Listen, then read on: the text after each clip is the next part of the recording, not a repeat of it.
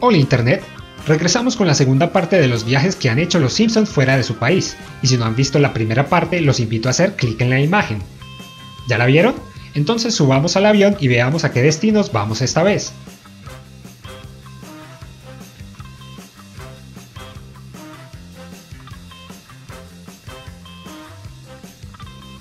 Homero va a extremos imposibles para evitar pagar una donación falsa a la PBS, terminando embarcado en un viaje de misioneros a una isla de Micronesia, Homero trata de sacarle partido a la situación lo mejor que puede, ya que no hay ni televisión ni cerveza y ya sabemos lo que sucede cuando eso pasa. Primero intenta enseñarle sobre la Biblia, con lo cual creo que hizo un buen trabajo, pero luego corrompe a los nativos con juegos de casino y una imitación de cerveza. Al final construye una capilla para tratar de redimir sus pecados, pero lo único que consigue es despertar el volcán de la isla. El episodio termina con Homero y Lisa Jr. a punto de morir cayendo a un río de lava. Ese parece un final más digno para un episodio de Padre de Familia. Ah, temporada 11. Apestas.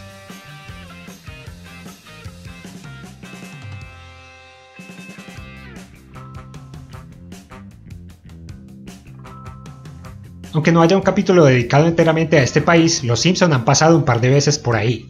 Como compensación por haber sufrido en el terrible campo Krusty, el payaso lleva a los niños a pasar unos días en Tijuana, cuando Bob Patiño secuestra a Bart para intentar matarlo por enésima vez, una camarera distrae a los Simpson de su rastro diciendo que escapó a México, y allí Homero intenta comprar un taco. Y en una breve historia de Simpsons Comics número 83, Bart y Lisa describen de formas muy distintas cómo fueron sus vacaciones en Acapulco.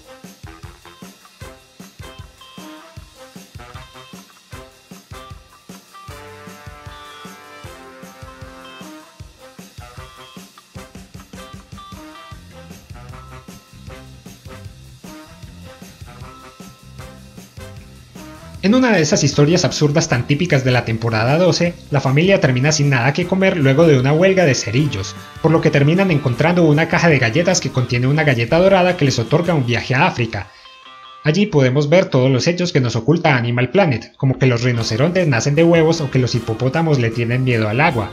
La familia termina en la reserva de chimpancés de la doctora Joan Bushwell, que es una parodia de Jane Goodall, y quien en realidad utiliza a los chimpancés para la minería de diamantes, en vez de denunciarla, los Simpson aceptan el soborno que les ofrece y se van de Tanzania cargados de diamantes. Qué lindo, ¿no?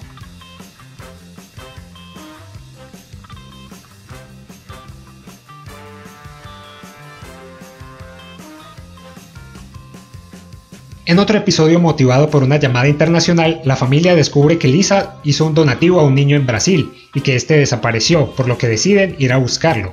Cuando Homero menciona que los niños del Brasil son como pequeños Hitlers y que lo vio en una película, se refiere a los niños del Brasil, película de 1978. Recuerdo que cuando salió este episodio el Comité Turístico de Brasil no estuvo nada contento.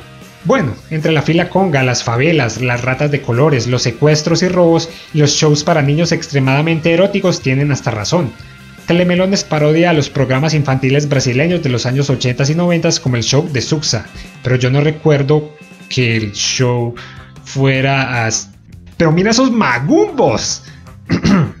Resulta que gracias a los zapatos que el pequeño Ronaldo compró con el dinero de Lisa pudo volverse parte de Telemelones y así le pudo proporcionar el dinero a los Simpson para el rescate de su padre. Al final Homero es liberado y Bart termina siendo devorado por una boa. Ok.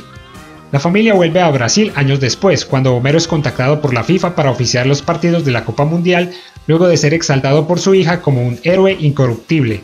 La mafia intenta sobornar a Homero para que Brasil gane la copa, pero este se niega hasta que se entera que no fue la primera opción de Lisa en su presentación. Lisa le dice que se convirtió en un héroe real, por lo que Homero se arriesga a contradecir a los mafiosos y niega un penalti a Brasil, aunque el jugador que lo recibió murió.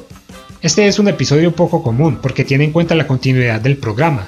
Lisa menciona cuando Homero compró su pony y su saxofón y recordó la vez que fue referee por primera vez y le dio una tarjeta roja a su propia hija. Y Telemelones aparece de nuevo, el episodio es notorio porque poco tiempo después surgieron los escándalos de corrupción en la FIFA.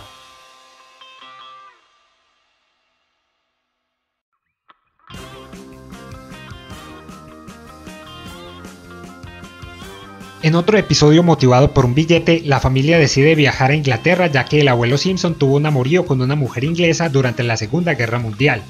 Ahí conocen a varias personalidades, como el entonces primer ministro Tony Blair, J.K. Rowling, autora de los libros de Harry Potter, y Sir Ian McKellen, Gandalf en El Señor de los Anillos y Magneto en los X-Men. Se supone que David Beckham también aparecería en este episodio, pero los productores consideraron que no era lo suficientemente popular en Estados Unidos como para que apareciera. Puede que a nosotros eso nos parezca absurdo, pero hay que tener en cuenta que el fútbol no es tan popular en ese país. En fin, Homero choca con el carruaje de la reina, que por cierto, a diferencia de las demás estrellas invitadas de este episodio, su voz no fue hecha por la reina, lo que lo lleva a la cárcel. Al escapar termina en la habitación de la reina, quien lo perdona a cambio de que se lleven a Madonna del país.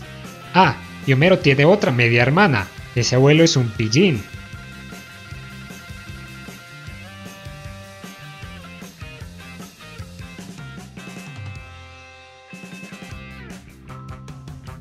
Burns decide comprar un auto italiano y envía a Homero por él para ahorrar en impuestos. Gran idea. Cuando llegan allá deciden quedarse por un tiempo más para poder visitar lugares como Pisa, Pompeya y Roma.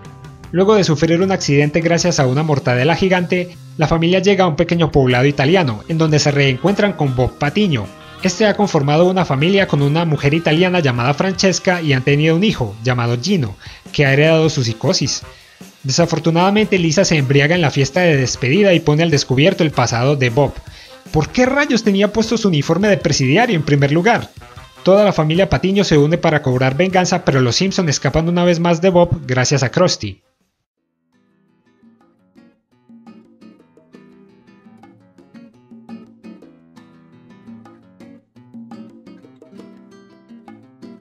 Marsh y Moe viajarán a Aruba a la convención de restaurantes y tabernas. Como de costumbre, Moe no tiene las mejores intenciones con Marsh, así que Homero va a detenerlos. Obviamente, Marsh no tiene ningún interés por Moe, por lo que Homero y Marsh aprovechan para tomar unas vacaciones juntos en Aruba, dejando a los niños libres para que estos participen en una competencia de globos.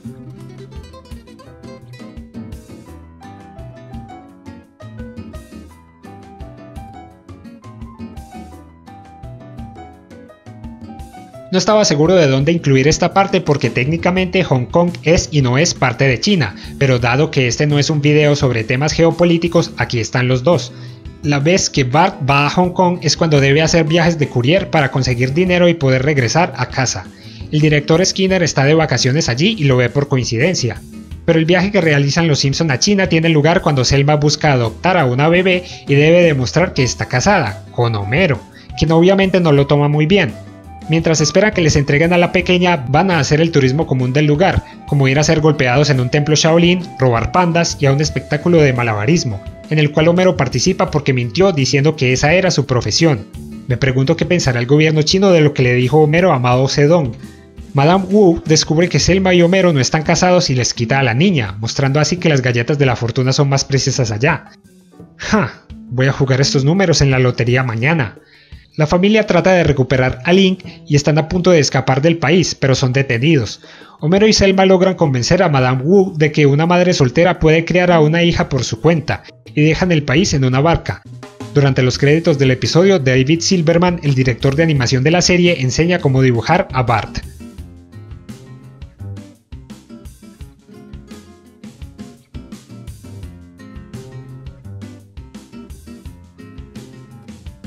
¿Recuerdan esa vez que Homero dijo que los Simpson irían a la Antártica el año siguiente?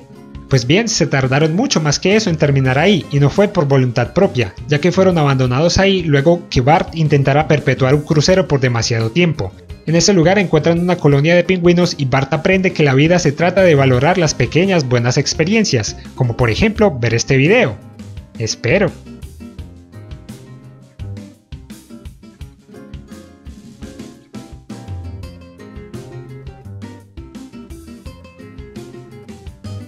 Homero alguna vez mencionó que él y Barney hicieron un viaje a Machu Picchu.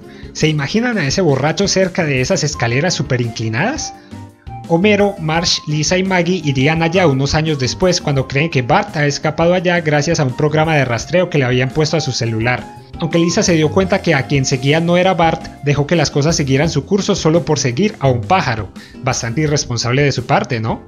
Allí, Marsh tiene una visión que le motiva a no ser tan sobreprotectora con su hijo. Y hablando de irresponsabilidad, cuando regresan dejan a Maggie en Perú, aunque no parece que ella esté en ningún peligro.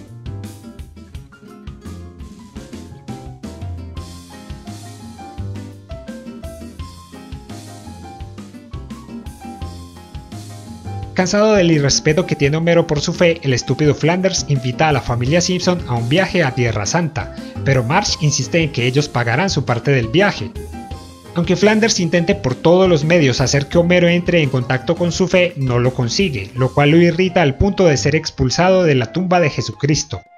Preocupado por haber hecho enfadar a Flanders lo suficiente para que éste escapara al desierto, Homero lo persigue, pero en realidad solo había ido por un té. En el desierto, Homero tiene una visión que lo convence de que él es el Mesías. Y no solo él, casi todas las personas que fueron a la peregrinación terminan con el síndrome de Jerusalén. Flanders lo toma al menos como una pequeña victoria, pero igual todos sabemos que la semana siguiente Homero estará adorando a algún otro dios pagano.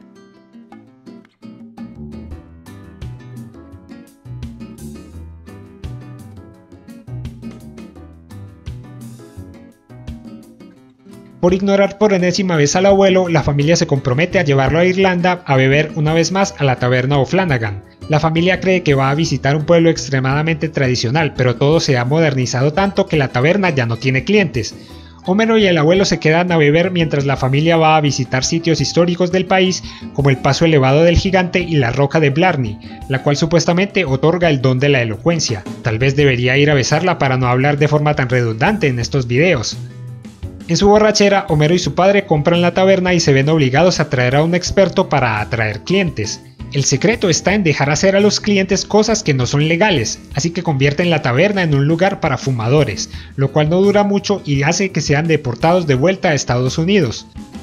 Este episodio tiene como estrellas invitadas a Glenn Hansard, Cole Mini y Marqueta Irglova.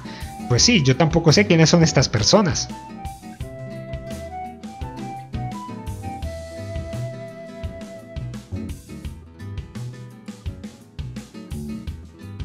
Homero y sus amigos compran un boleto de lotería y ganan 200 mil dólares.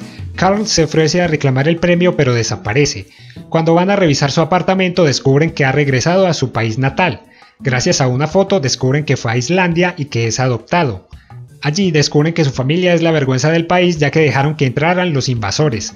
Carl tomó el dinero del premio para conseguir una página perdida de la saga que describe la historia de su familia y demostrar así que ellos no tuvieron la culpa, y lo hace sin remordimiento alguno ya que no considera que ellos sean sus amigos.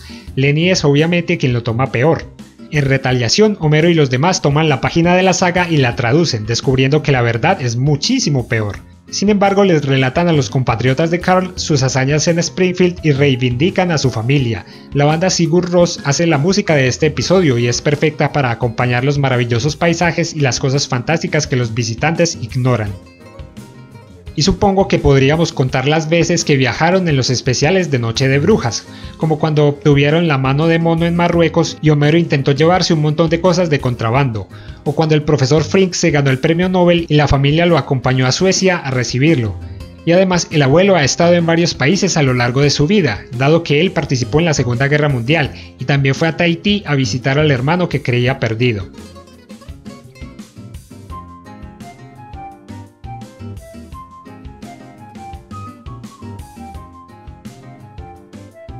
Y ahí lo tienen, la familia Simpson alrededor del mundo, y quién sabe si algún día visitarán otros países de Latinoamérica.